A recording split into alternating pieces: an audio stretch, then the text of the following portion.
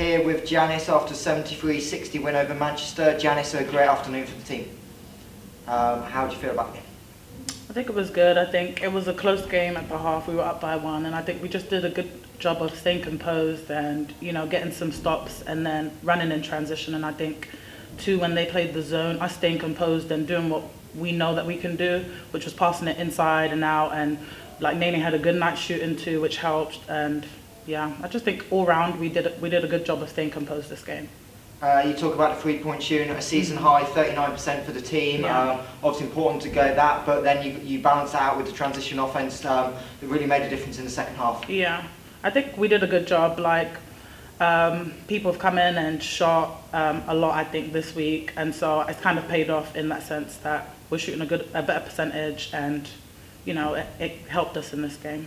And then defensively, again, taking over the game in the second half, holding Manchester to 26 Yeah. points. Uh, Georgia Jones to four personal. Mm-hmm. Um, really pleasing the defensive is keep, keeps evolving every week. Yeah, so I think we did a good job this week in practice. We focused more on our def- heavily on our defense, and so in this game, that was a big focus for, for us. And I think it was a good job from everyone. You know, doing what we was told and what we've done in, in practice and bringing that to the game. So. And for you personally, 22 minutes, starting to come back from injury, feeling more comfortable? Yeah, I think it's just a patience thing with, with injuries. Um, right now, I'm just focused on getting my- getting my flow back, getting my knees back, and then getting in shape, and then the rest will come after. And now on to uh, a little bit of breaking the league season, on to WBBL Trophy. What do you expect from that competition? Yeah, this is my first year, so I don't really have that much that much expectations. This is my first year doing it, so just it's just another game for like another week with another important game for us to win.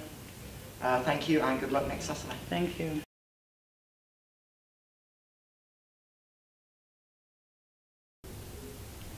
Uh, here with Dave. Dave, a 73-60 win over Manchester this afternoon. You must be delighted. Yeah, um, in, in two ways. One, getting the win um, and the way that we played in the second half. And two, you know, making sure that we had the head-to-head against Manchester. That's a bonus point right there for us. Um, obviously, Ashley went down second half, and you got contributions across the uh, across the whole roster today. Uh, really pleasing aspects, I'm sure. Yeah, you know, and even, um, you know, not having Chevy for a full game as well, that was even greater um, in terms of the result that we got. Um, I think we locked in. We didn't play so well in the second quarter, um, allowed them to score 18 points in that quarter, um, which put them back in the game. Uh, but going into halftime with a one point lead, I always felt confident that if we came out and be disciplined in what we do on both ends of the floor and, and, and up the energy level, um, that we'll be successful. So it was good all around play, um, you know, throughout the team. And then defensively again, uh, second half, a huge adjustment, holding Manchester to 26, 18% from three. Must be pleased how the defense is evolving week on week still. Yeah, you know, and we don't, um, you know, one of the things that we didn't do well um, in the past is guard the three-point line. Um, and it's good to see that we actually held them, a good team, um, a good team in Manchester to 18%.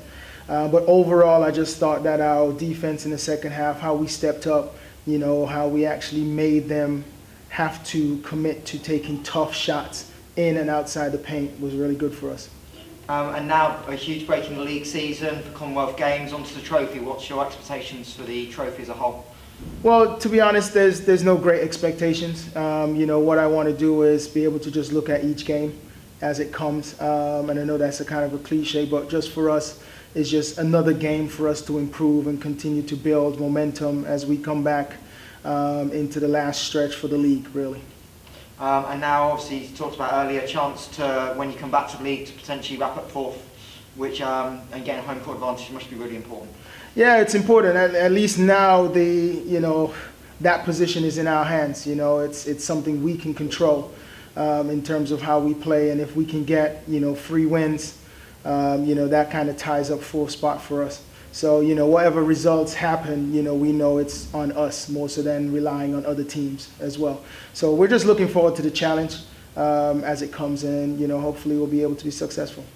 Thank you and good luck. All right, thank you.